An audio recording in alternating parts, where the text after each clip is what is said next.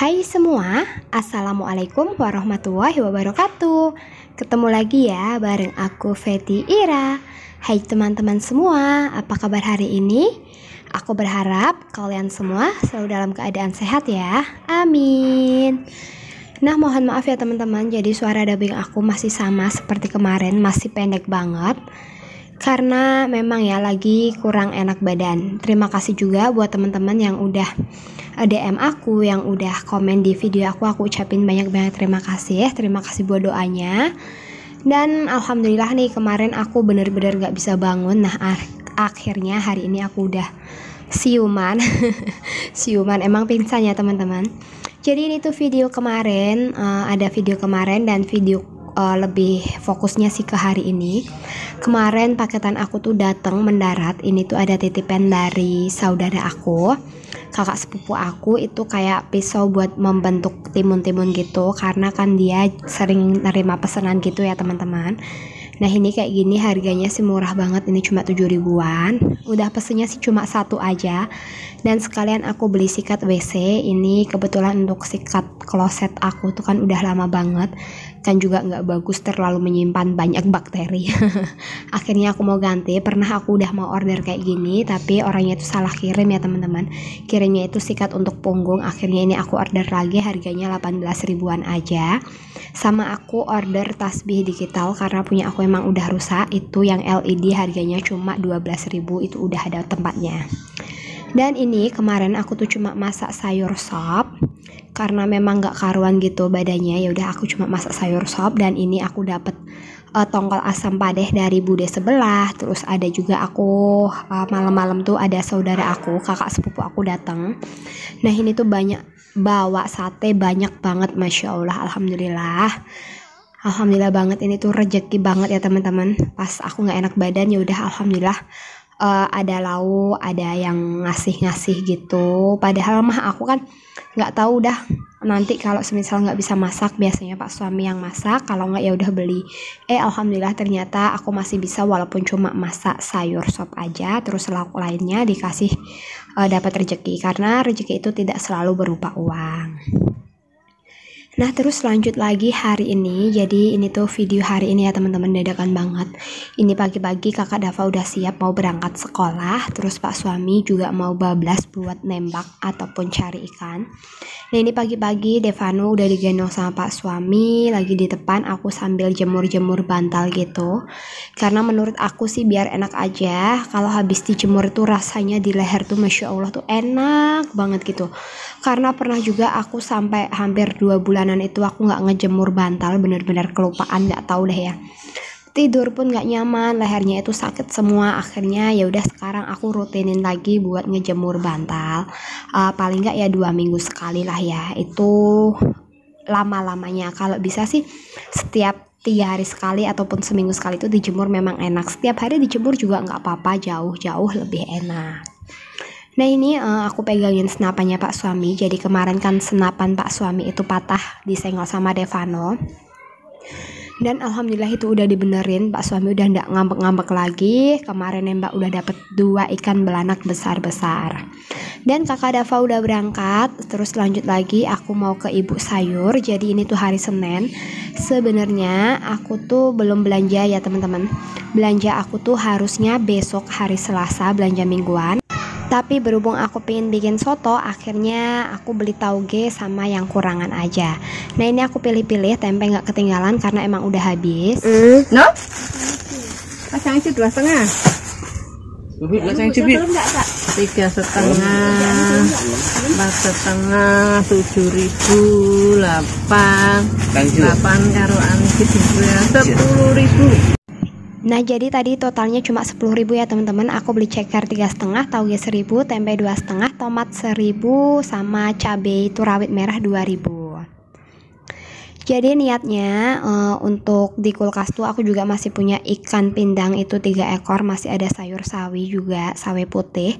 Sama aku punya ayam itu paling seperempat kilo bagian dada yang niatnya aku pengen bikin nugget tapi nggak jadi ya teman-teman. Akhirnya berhubung aku lagi nggak enak badan kan pengennya yang seger-seger, aku pengen bikin soto aja. Tadi akhirnya ke ibu sayur. Jadi untuk yang belanja yang minggu ini minggu ini budgetnya itu udah kepotong 10.000 tapi nggak usah khawatir ya teman-teman karena minggu sebelum-sebelumnya itu aku kalau belanja itu selalu sisa dan sisanya itu bisa aku kumpul-kumpulin entah itu aku mau beli jajan apa bakso ataupun apa itu kan aku bisa. Nah ini pak suami ambil serai di depan rumah itu besar-besar ya teman-teman. Nah ini um, mau dikeprekin aja mau bikin soto simple banget. Cuma pakainya bawang putih sama kunyit nanti kasih lengkuas serai daun salam daun jeruk sama merica. Udah gitu aja. Aku nggak pakai jahe ya teman-teman. Udah kayak gini aja. Ini resep ibu mertua. Masya allah bener-bener enak banget seger banget Nah barusan taugenya aku rendam pakai air anget, air panas uh, sebentar aja sih karena biar nggak terlalu layu. Nah ini untuk bumbunya aku gongso aja dulu ya teman-teman, tumis-tumis biar nggak terlalu bau mentah ataupun bau langu banget. Nah ini tuh uh, masaknya tuh dibantuin sama pak suami gitu ya teman-teman. Nah mohon maaf itu kelihatan. Jadi pak suami itu memang eh, nggak uh, pernah betah yang namanya pakai baju. Nggak tahu kenapa. Memang dari kecil ya teman-teman. Terus pak suami kan juga hidupnya di desa. Itu kan anak-anak kecil sering lah ya main di sungai, main di apa, jadi jarang banget yang namanya pakai baju. Dia paling baju di luar rumah, nanti kalau udah nyampe rumah ya udah dilepas lagi. Nah lanjut lagi uh, masaknya udah selesai, lanjut buat jemput kakak Dava. Sebenarnya ini belum selesai. Jemput kakak Dava terus mampir ke warung karena ditumeran banget aku tuh kehabisan minyak.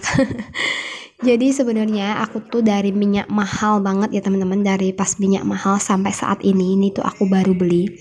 Aku belum pernah beli sama sekali ini warung deket rumah ini langganan aku dan dulu ini tuh rumah aku ya teman-teman. Rumah aku, rumah masa kecil aku.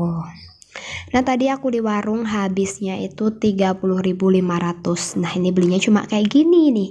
Jadi untuk belanja bulanan pun ini masih ada sisaan ataupun lepet-lepetan. Apaan sih sisaan dari uang belanja bulanan aku? Nah tadi uh, aku beli suun ya teman-teman. Suun itu di warung tadi uh, eh, 2000 dapatnya dua. Jadi untuk bikin sotoku kali ini cuma modal 20 ribuan aja. Gimana bisa untuk ayam itu 11.000 aja, terus aku beli ceker kan tiga setengah, tempenya dua setengah. Jadi kan 17.000, terus untuk tauge 1.000, suonnya 1.000, ya udah anggap aja buat tomat dan daun bawang itu 1.000. Tomat aku juga pakai sedikit. Jadi modal kali ini untuk bikin soto sepanci untuk makan dari siang sampai malam. ini cuma 20.000 aja ya teman-teman. Ini enak banget. Nah, ini ayamnya yang tadi udah aku rebus bareng, bakalan aku goreng. Dan ini untuk kuahnya, kuah sotonya ini cukup banget ya teman-teman. Kakak Dava makan siang sampai tambah-tambah. Aku juga makan siang udah, terus Pak suami udah makan dua kali. Dan nanti si Pak suami bakalan makan lagi sore, uh, makan malam gitu ya Pak suami, aku sama anak-anak dan ini tuh masih cukup. Untuk tempe ini digorengnya baru sebagian, yang sebagian lagi nanti aja digoreng dadakan biar anget. Dan Masya Allah soto rumahan resep ala ibu mertua ini udah jadi dan bener-bener enak dan seger banget cuma modal 20 ribuan aja ini tuh udah kenyang satu keluarga dari siang sampai malam pas suami makan tiga kali aku dua kali anak-anak juga dua kali Nah untuk pagi itu di tataan itu ada omelet. Pagi-pagi Pak suami bikin omelet cuma pakai satu butir telur dan mie tiga telur ya. Mie tiga telur apa tiga ayam itu aku kurang paham. Udah kayak gitu untuk sarapan udah deh kelar. Nah terus lanjut lagi. Setelah masak selesai ini aku mau elap-elap aja. Jadi seperti biasa setelah masak itu wajib dielap-elap karena moodnya itu biar balik biar selalu on. Jadi dua hari kemarin aku tuh bener-bener loyo banget. Kemarin aku nggak bisa up video. Jadi untuk makan pun alhamdulillah kan ada ya teman-teman. Nah ini uh, aku baru bisa beranjak kemarin pun yang nyuci piring tuh pak suami. Jadi sebelumnya itu aku baik-baik uh, aja. Aku tuh udah kurang enak badan tapi aku masih bisa mengerjakan segala sesuatu. Aktivitas rumah tuh masih bisa semua. Dan kemarinnya itu dan kemarin itu bener-bener aku nggak ngerjain apa-apa. Jadi yang ngerjain urusan rumah semua itu pak suami. Mulai dari nyapu uh, masak cuci piring. Pokoknya itu pak suami semua tapi kurang maksimal. Dan hari ini aku udah bisa beranjak udah siuman dan aku mau beberes elap-elap area dapur. Jadi alhamdulillah banget ya teman-teman. Pak suami mau bantu itu alhamdulillah. Walaupun gak semaksimal mungkin gak sedetail mungkin yang penting bersih kayak gitu. Kalau perempuan kan lebih detail lebih ditata-tata biar lebih estetik-estetik. Padahal mah cuma dapur sederhana. Jadi kira-kira cukup sekian aja nih vlog dari aku. Terima kasih buat teman-teman yang sudah ngikutin ngikutin videoku sampai di menit ini. Buat teman-teman yang belum subscribe, jangan lupa untuk subscribe ya, like dan komen. Dan mohon maaf ya apabila ada salah-salah kata dalam video ini. Aku pamit undur diri. Wassalamualaikum warahmatullahi wabarakatuh. Bye-bye.